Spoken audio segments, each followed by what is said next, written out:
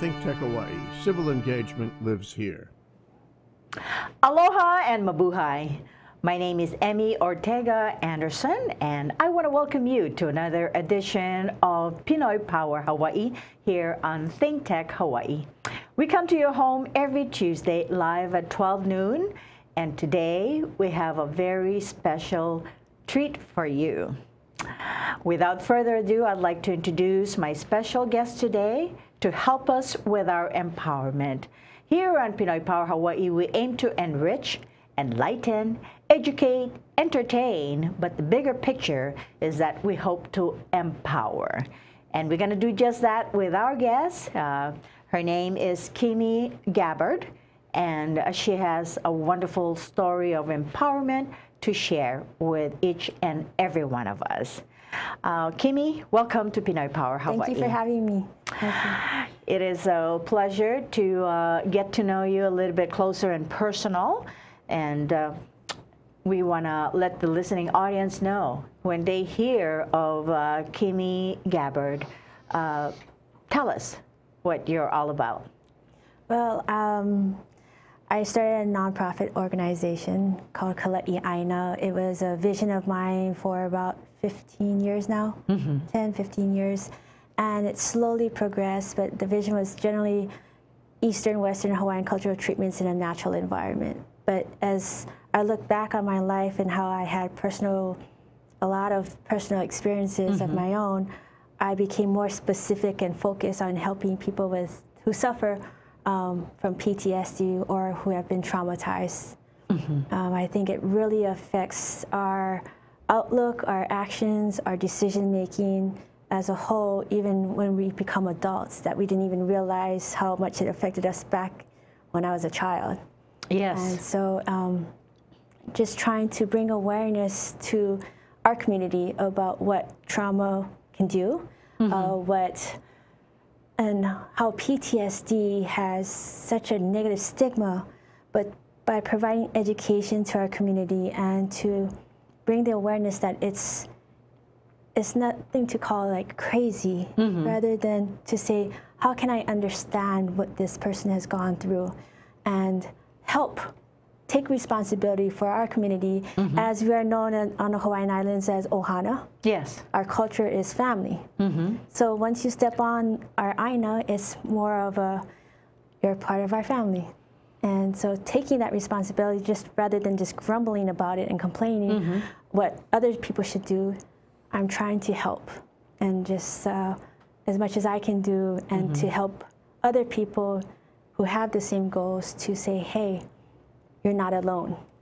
And you're, you know, let's hear your story because mm-hmm. everybody has a story. Yes, we all do. And I'm so happy to uh, connect with you because uh, what you're talking about, you're mirroring uh, what uh, I want to do uh, in a bigger picture. Yes. Um, it's part of my empowerment to help those that uh, don't have any hope or they're so beaten down that they don't know where to run to or to go to for help to get out of their misery.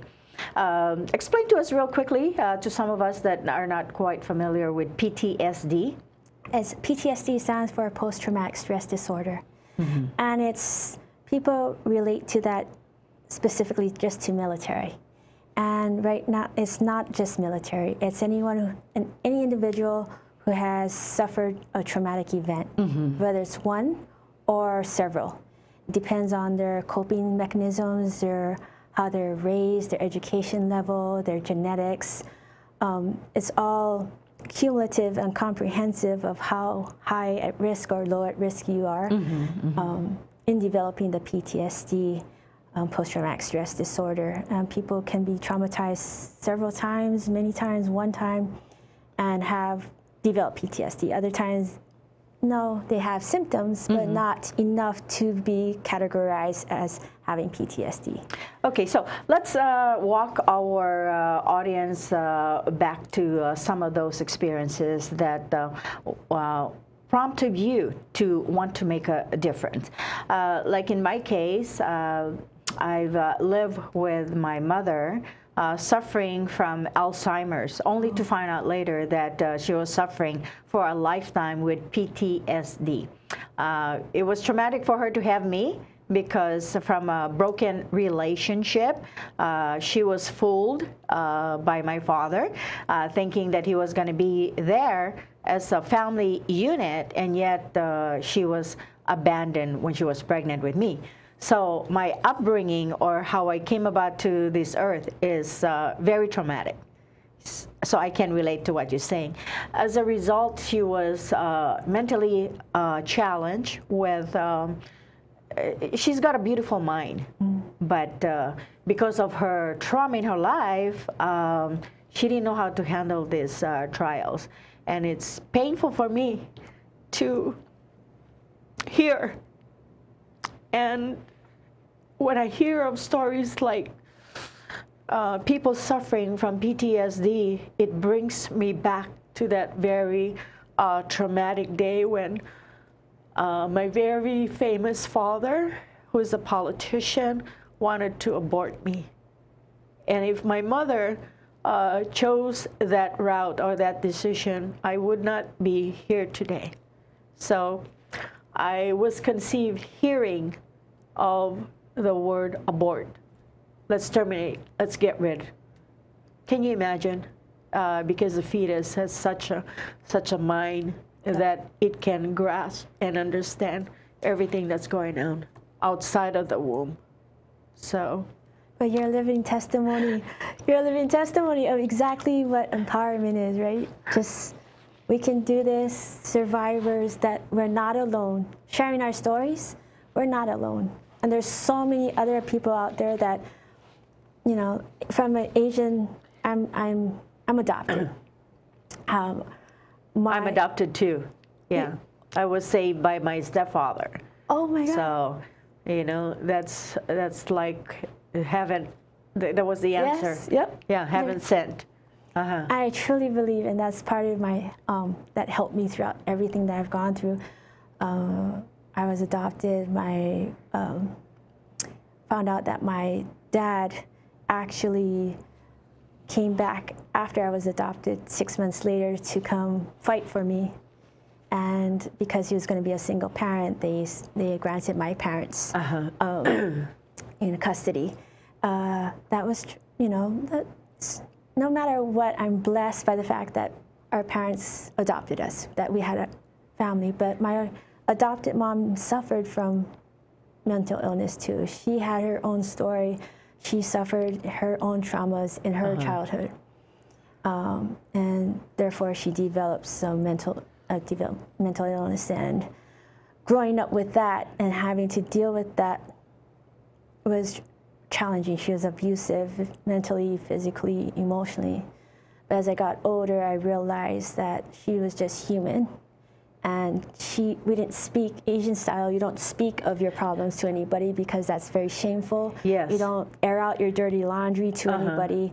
And um, don't tell family secrets. Just that's right. you know you, you cover it up you, and uh, you learn to smile even though you're hurting inside and you like mask mm. that hurt and pain for so long that you know i went and i think i went into survival mode after uh-huh. a while because it was just one after another after another and just being you know she said oh i'm going to kill myself and then every time i came home it would be like am i going to find my mom dead. dead?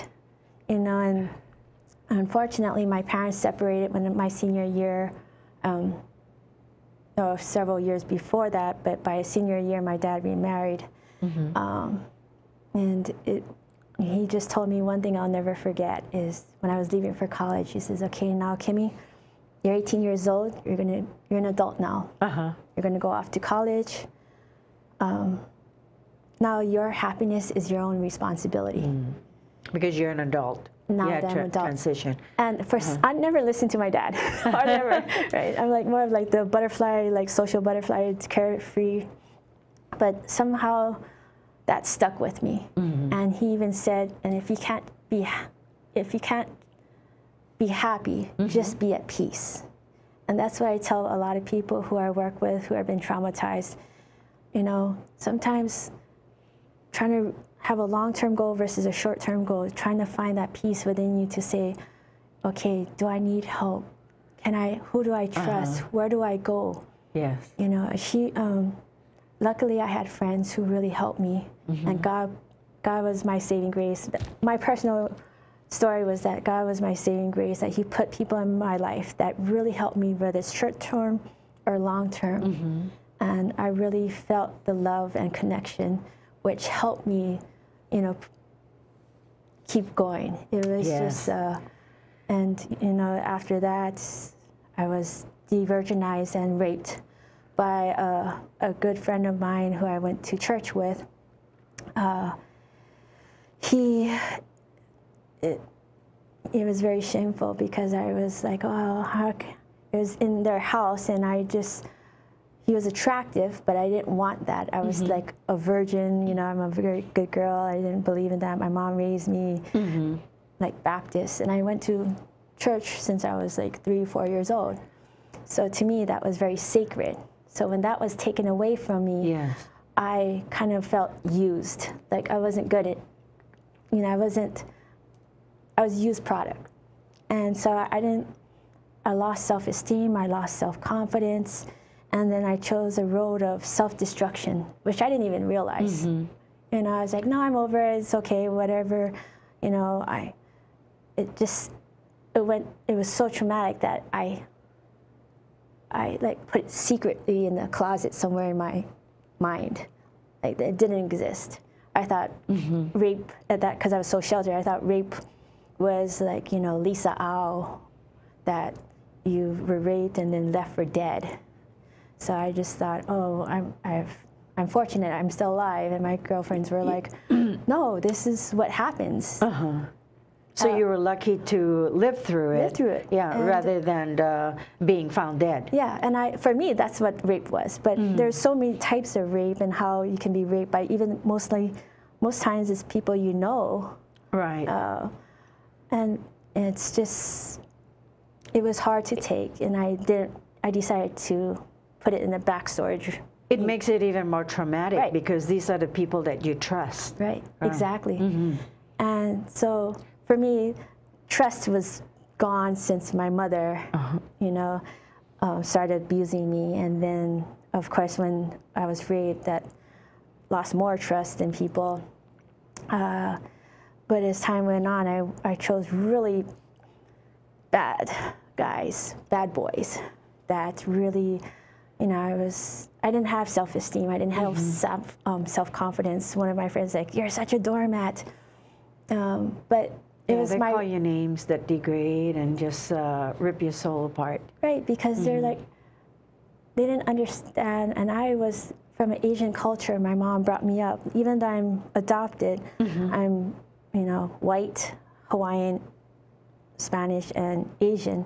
But I was raised in a culture where you don't say anything. You just pretend nothing happened and smile. Right. Move and on. Move on. Mm-hmm. You know, Uh, what at what age was this, Kimi? at 18 years old. Uh-huh. Um, so I went to college, and I had one boyfriend for a long time, for several years, and then we broke up, and then I went came back home. But when I came back home, it was like the same destructive cycle. Mm-hmm.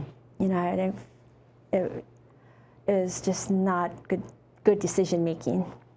So it, it went on. It's like a bro- broken recording. Yes, and, And- you know, I wasn't even conscious of it. I wasn't even like, what am I doing? It was just like, oh well, whatever. And it came to a point where uh, it climaxed to my one of my boy ex-boyfriends who I ended up in the ER, and I worked in the ER. And it, I when I became a patient, the um, the chief of medicine who is very respectable and very stern, mm-hmm. uh, sat down with me and just said, you know, Kimi, I don't want to end up seeing you on a Channel 2 News dead. Mm-hmm. He goes, do you see what I see? He goes, yeah, bruises all over your neck. You're six foot two, you know, tall, dark, handsome, and mm-hmm. just threw me like a rag doll. Almost fell off the balcony once, and it was. And I always kidded myself, like, oh no, he loves me. He's just angry, you know. he'll, he'll, he'll get better. You know, I can help him get better. And doing the Florence Nightingale syndrome thing. Hold that thought for a moment and uh, we will continue our conversation. You are tuning into uh, Pinoy Power Hawaii, where uh, we uh, become transparent and we share stories that uh, hopefully will make a difference. Uh, we will be right back here on Pinoy Power Hawaii. Aloha, this is Winston Welch. I am your host of Out and About, where every other week, Mondays at 3, we explore a variety of topics in our city, state, nation, and world, and uh, events, organizations, the people that fuel them. It's a really interesting show. We welcome you to tune in and we welcome your suggestions for shows. Um, you got a lot of them out there, and we have an awesome studio here where we can get your ideas out as well. So I look forward to you tuning in every other week where we've got some great guests and great topics. You're going to learn a lot, you're going to come away inspired like I do. So I'll see you every other week here at 3 o'clock on Monday afternoon. Aloha. Hello, I'm Yukari Kunisue. I'm your host of new Japanese language show on Think Tech Hawaii called Konnichiwa Hawaii, broadcasting live every other Monday at 2 p.m. Please join us where we discuss important and useful information for the Japanese language community in Hawaii. The show will be all in Japanese. Hope you can join us every other Monday at 2 p.m. Aloha. Welcome back to Pinoy Power Hawaii, and uh, we appreciate you tuning in to our weekly program. We come to your home every Tuesday live at 12 noon. We're having conversation with a very wonderful, lovely uh, woman of empowerment. Uh, Kimi Gabbard is her name. Uh, I will ask her how she's uh, how she has that Gabbard name. Uh, but uh, again, uh, our mission here on Pinoy Power Hawaii, which is an extension of my radio program on Pinoy Power Media, we aim to enrich, enlighten, educate, entertain, and we hope to empower. And to do today, we're doing just that.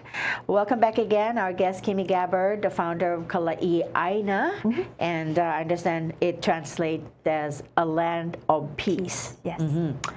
Okay, so uh, let's go back to our uh, discussion. I, I feel for you, uh, your pain. Uh, it feels like I've been there, but part of me has that denial. And of course, uh, Asians especially, we tend to uh, do a good job covering up. We put our plastic face forward. We call it Tupperware in uh, the Filipino language, and we move on and pretend like nothing happened but it comes back to haunt us and it keeps resurfacing like a broken recording kimi that uh, it uh, i- uh, affects us on the long run uh, eternally if we don't uh, get hold of it yeah Exactly. And so uh, tell us about the gabbard name because people are wondering and curious Yes, I'm related to Tulsi Gabbard and uh, Mike Gabbard. Uh, actually, I went full circle around. Uh, Tulsi's oldest brother, Bhakti, uh, was my first boyfriend ever. And so after a few months, we parted our ways, and every so often in life, we would cross paths. And a few years ago, we, he messaged me saying, Would you like to hang out? I'm going to be in Hawaii for a little while. I said, Sure. And then it just tr- transpired into getting married. And um, and he- he's such a blessing to me because of the fact of all my track records of bad decision making with men. I finally found and ended up with a, a wonderful human being with a great soul and spirit and very optimistic and very loving. His name is actually, we always kid each other because he says, uh, what does your name mean, Bhakti? And I, he says, love and devotion. I was like, okay, great. Remember that to me. the gabbard name is so well known here in hawaii and we have uh, high regard for them Oh, uh, thank you. especially mike and uh, tulsi Tulsi, yes. Yes. Wonderful people, stable, very healthy, grounded grounded, Yeah. very grounded and real. It sounds like your uh, man, uh, your uh, your king, who came to rescue you with his shining armor, Yes, came back yes. for the second time you know, around. God works in mysterious ways, Mm-hmm. and the higher powers, you know, is. I went full circle, many toads, and then I came and made me more appreciative of what I have now. And So you're having awakening, just like I'm having awakening. The second time around for me, I, I I just wanted to share my blessings with others by helping to empower others, and this is how Pinoy Power Hawaii came about. About um, it's an empowerment, but. I grew up on the island of Lanai. Uh, I uh, uh, developed uh, uh, Tita attitude, like uh, I'm from Waianae. yes.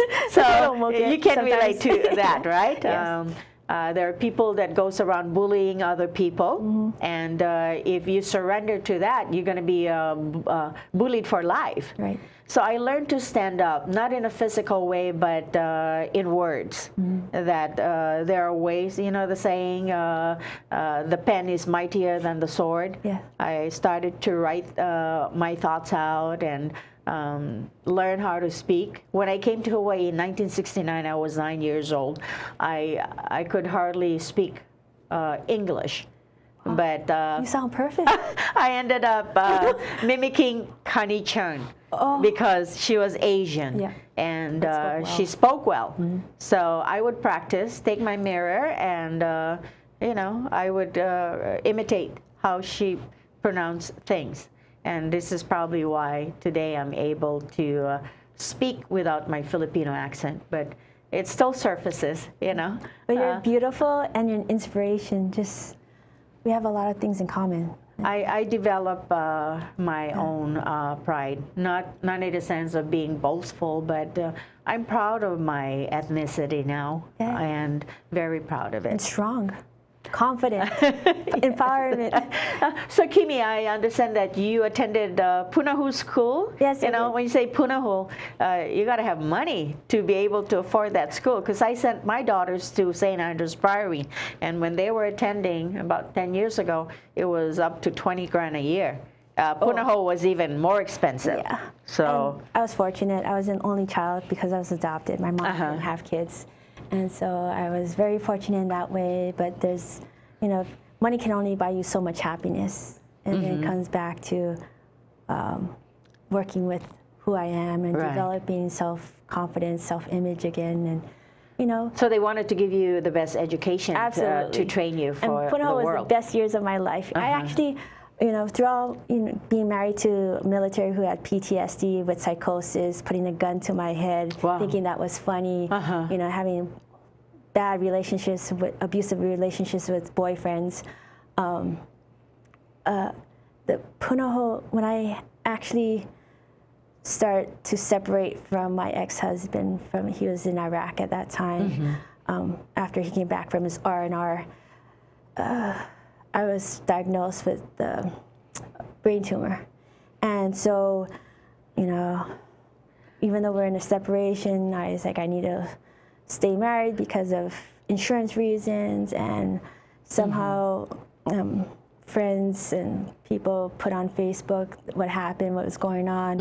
And it was amazing how Punahou, I mean, not, I'm biased, but because of like the family you develop, not just in high school or grade school, but for your lifetime.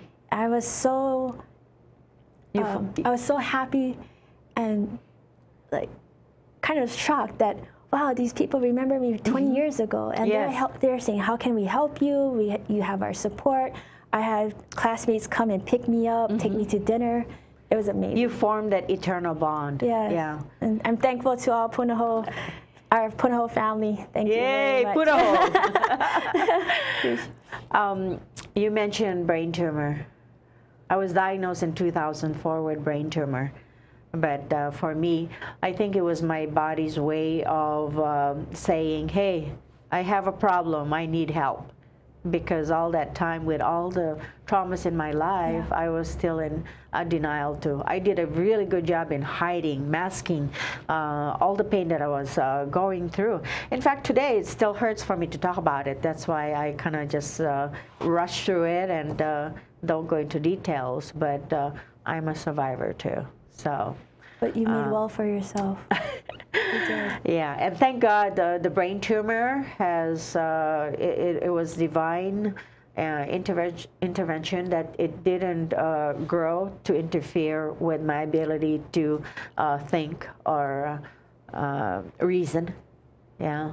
Wow. So, so how's your brain tumor? Is it under control? Well, every six months I have to Go through MRI? MRI, Uh-huh. blood tests, and everything. Yes. Um, I go through that too. Me I can relate. Yeah, Uh, luckily, uh, like I said, through faith Mm-hmm. um, and uh, just uh, being more cautious, being more uh, uh, strict with my diet. Right. Yeah. that's a huge. That's a huge part of That it. is. and Yes. I mean, Uh-huh. my husband and I are vegetarians. The whole Gabbard family are vegetarians. But when I became a vegetarian, when I married my husband, I gained 20 pounds. So there's like good, healthy uh, Uh-huh. vegetarians and not so healthy.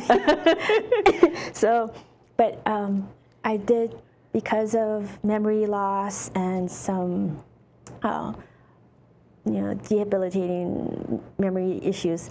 It was more of a how can I better my brain, right? So Yes. I, I actually I'm reading a book now, uh, Dr. Daniel Amen, the Uh-huh. Amen Clinics, where you can actually develop, and he says nutrition is key. Yes. You know, getting yourself checked, SPECT scans, and nourish. Think of your brain as an um, organ that you need to be healthy. If it, that's not. Yes. healthy, uh, Uh, it's part of our temple. Yes. So uh, we got to do our job to take care of it because we only have one, right? absolutely. Uh-huh. Okay. Uh, with the uh, time that we have remaining, I know that uh, you founded uh, uh, Kalai Aina, and uh, I'd like to connect with you in that sense. I have I, I have a one acre of uh, a land that I'm farming, and I always uh, feel at peace when I'm working and tilling the land because I'm so close to nature. So, if there's any way that we could uh, help to turn that as a sanctuary, Oh. uh, a place for uh, women or uh, people can get away to experience a little bit of heaven on earth, uh, I'd like to uh, share that blessing. Mm-hmm. I greatly appreciate that because I'm in, I'm so into working together Uh-huh. for our, with our community because it's not competition. It's just about the, the mission, the purpose, the passion we have because we live through it. Uh-huh. it. We put our hearts into it and know and understand it from an empathetic view that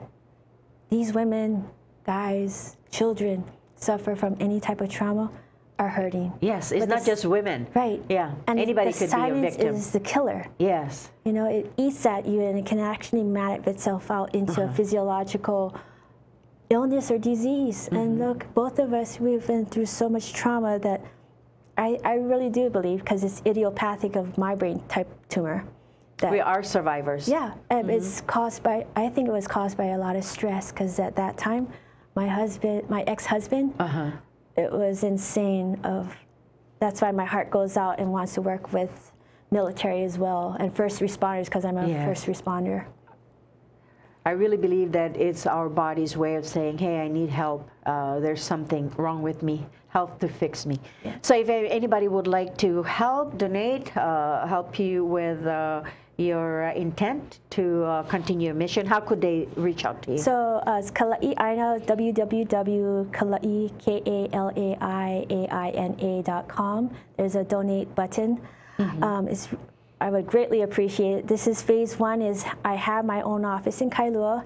Uh, we provide support groups. We're doing outreach programs. We're working with women correctional facilities that have really been traumatized a lot. Um, and then phase two is combining Eastern, Western Hawaiian cultural treatments in a natural environment. So I'm mm-hmm. trying to build a retreat um, with options of treatments. There's not one specific type of treatment Right. program that helps everyone. Everybody gets to pick their own. Because but help is available. but help is available. And to bring the awareness out mm-hmm. and to stop the negative stigma Yes. about, I'm going to keep this a secret. I know I'm mm-hmm. suffering from something, or my husband or my child is suffering from something, but I'm just going to keep quiet. This is a time to come out and not be silent, to get the proper help, and to have that support that helps you say, I'm, You're not alone, yes. because that's key. Nobody wants to feel alone. Well, let's come together and Yes. find peace Yes. and uh, bring awareness. Thank you again for being here, uh, Kimi, and I wish you the best of, of you luck. very much. And we appreciate you for sharing. Thank you. Uh, good luck. Thank you. Again, um, we want to thank you for joining us here on Pinoy Power Hawaii, and uh, we encourage you to tune in every Tuesday, 12 noon, here on Think Tech Hawaii for more empowerment. And as we say, aloha, maraming salamat po, mabuhay.